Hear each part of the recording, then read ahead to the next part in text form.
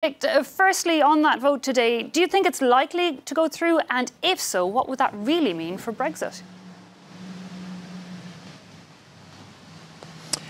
Yes, after that uh, defeat, uh, for the first time of asking uh, a vote from an approval from Parliament, Boris Johnson, the new Prime Minister, lost that, rather decisive, uh, by 27 uh, MPs, by 27 votes. So, yes, I think that the opposition MPs and alliance, as they're being called, uh, could, and we'll have to see if they do, uh, win a, a, vote after a debate this afternoon. And of course, that would take uh, the no deal off the table. It would enshrine it in law. It would, uh, if, of course, it gets through A in time.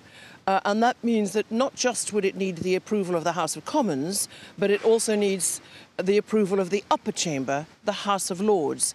Uh, and what I think uh, would we would see immediately afterwards uh, is very much what Boris Johnson said as he rose to his feet at the dispatch box moment after the result and that defeat uh, was announced last night in the House of Commons around about 10 past 10 London time. And that is that he would put down a motion, a government motion, to call for an early general election.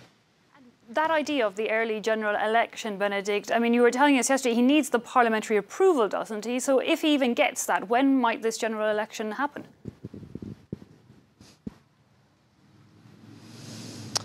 Well, if is a little word, but it's a big proposition. Why? Because until uh, a few years ago, a prime minister could call an election him or herself. That is no longer the case. We have a five year, it's a, a fixed term parliament, so another election is not due officially till 2022.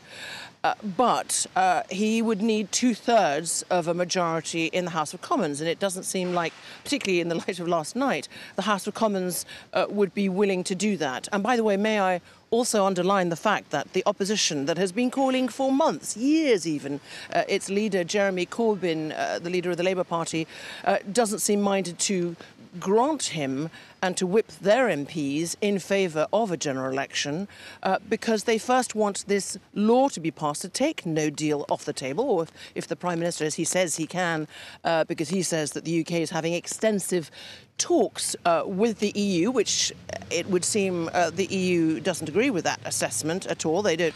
They say they haven't seen concrete proposals. Um, so it doesn't look like the House of Commons is minded to uh, grant him that. So we could be in a situation where Boris Johnson asks for a general election, doesn't get an early general election. When could it come?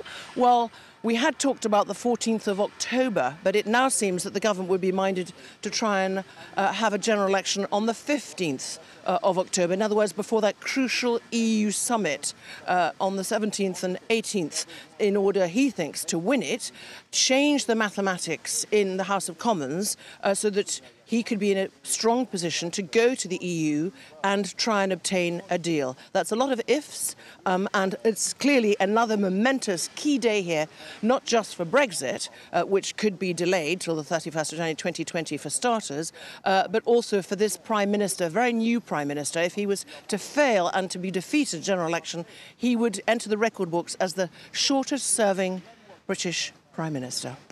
Okay, Benedict. Well, we will indeed be checking in with you again as that vote gets underway. For now, thanks indeed, Benedict.